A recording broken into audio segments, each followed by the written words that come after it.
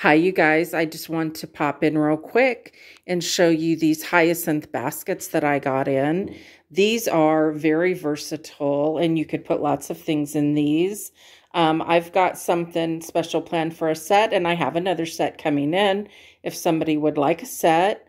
Um, but what I want to show you with these, because these are a little bit more expensive, but I want to show you what you're paying for.